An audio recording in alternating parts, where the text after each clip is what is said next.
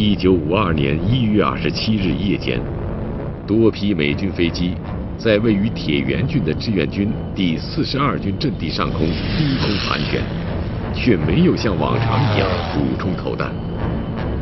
次日早晨，第三七五团战士李广福在驻地金谷里的雪地上发现大量苍蝇、跳蚤和蜘蛛等。此后数日，志愿军部队连续在朝鲜前方和后方多处发现大批此类昆虫，而且都是在美军飞机经过的地区，在飞机低空盘旋后出现。每天晚上他一俯冲的时候，平常一俯冲，马上紧接着就扫射，几枪人没没错。那几天晚上怪了，嗡，还没有声音，奇怪啊！有的发现了。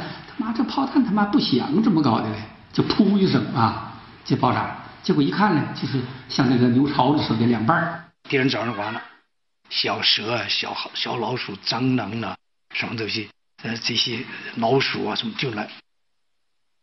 当时正值朝鲜一年中气温最低的季节，大批昆虫的反季节出现，情况异常。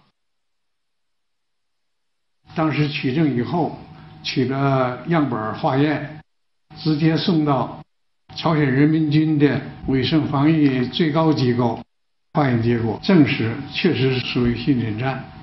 敌人搞那个细菌战，我一下得了半斤伤寒了，发高烧到四十多度啊！那个雪地下面都是一片屎子，都能看到老百姓都在那儿。我我那个营部住那个支部所住那个地方，下面个老百姓啊，家里三口子都倒在床上。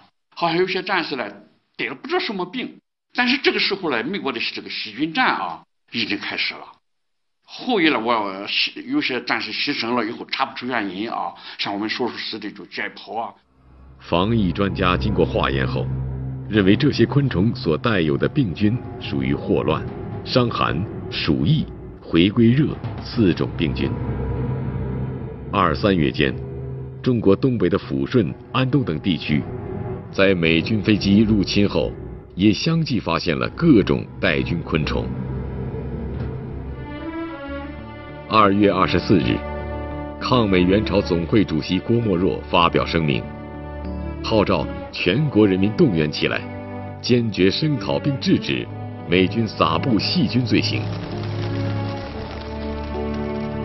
三月八日，周恩来发表声明。抗议美国政府使用细菌武器和侵犯中国领空。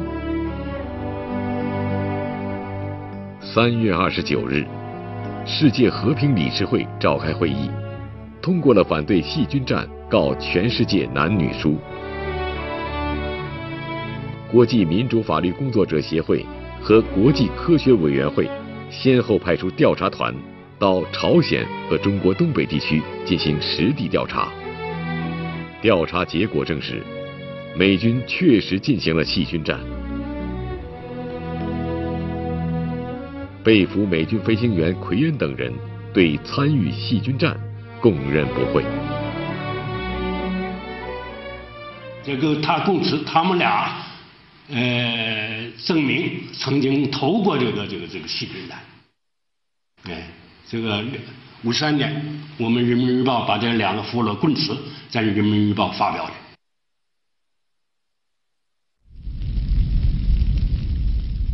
中共中央和中央军委断然决策，全面展开反细菌战斗争，并号召部队和人民，既不恐慌也不麻痹，要坚信以群众的防疫力量是可以战胜敌人细菌战的。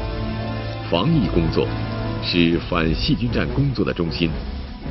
在几天时间内，总参谋部和总后勤部向朝鲜紧急运送了数百万份各种疫苗与防疫用品，同时从国内组织防疫队员，抽调专家组成检验队、防疫队，携带检验药品、器材等前往朝鲜。由于防控及时，措施有力，中朝军队和人民很好的控制了疫情的发生和发展。